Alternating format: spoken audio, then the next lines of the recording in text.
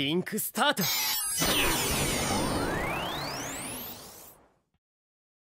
Sword Art Online has been one of the most well-known isekai anime ever since it popularized the genre way back in the long lost age of 2014. And over the years, people have developed differing opinions on it. Well, I'd agree with the fact that the show does have its own flaws, but let's be honest here. What story doesn't? Love it or hate it, Sword Art Online revolutionized the isekai genre, and because of that, it still fascinates me to this day. From a failed attempt at a contest submission in 2002 to one of the longest animated isekai shows, wow, that was sad to say, possibly the most fascinating thing to me, a writer about Sword Art Online, is the growth of Reki Kawahara as the series went on. As a writer, your characters will grow with you as you write. Each character you make will become part of yourself, and in turn, you will grow with them. Reki Kawahara is an amazing example of this, as the original Sword Art Online, or the Aincrad arc, had been a failed submission to a competition at the time due to it being far too long. Needless to say, it was filled with enough bad writing to make an anthology manga feel consistent. But where any other isekai anime would have just stopped airing due to the source material being just as stale or badly written, Sword Art Online received a season 2, a season 3, and a second part to that season 3. So what sets SAO, seemingly the most generic of the generic isekai anime out there, apart from the rest? Well, to a lot of people, the answer is nothing. But to me personally, it's the growth of the writer.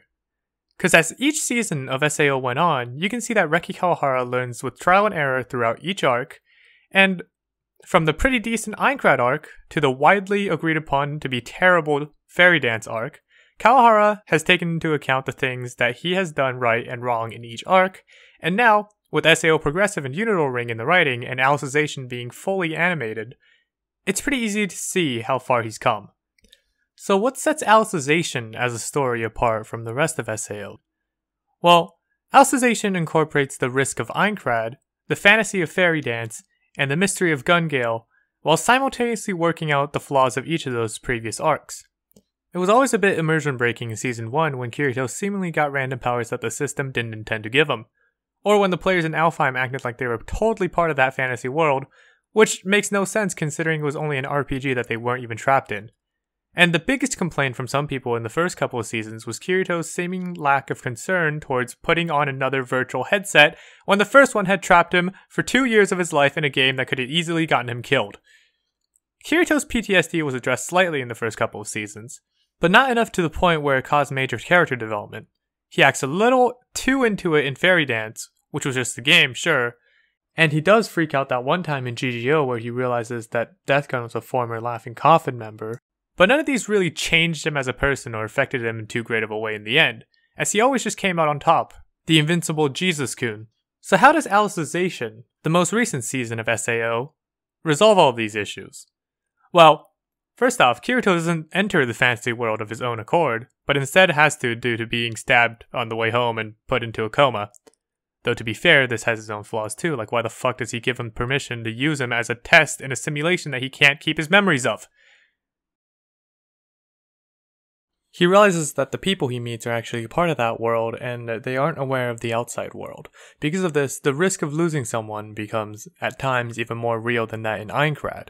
Since in Aincrad they couldn't feel pain and could just heal up or teleport away with a single item.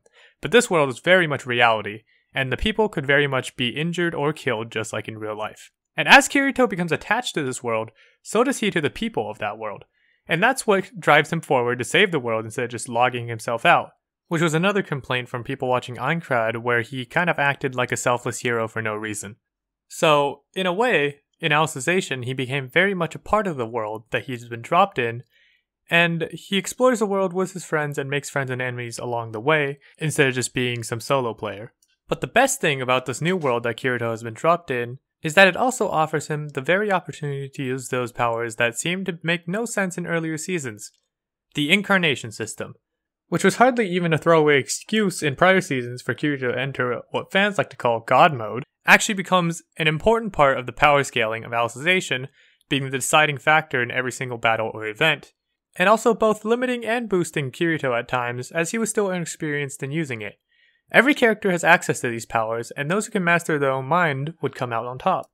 Yeah, while it does just seem like a lame excuse to make the main character being overpowered a logically possible thing, At least it can now be explained instead of the friendship and bullshit logic of the previous seasons. And in case the whole Kirito doesn't show his PTSD enough argument was still around, Man literally spends an entire cour in a wheelchair unable to do anything due to losing his best friend. You can't look at me with a straight face and tell me that he's not traumatized.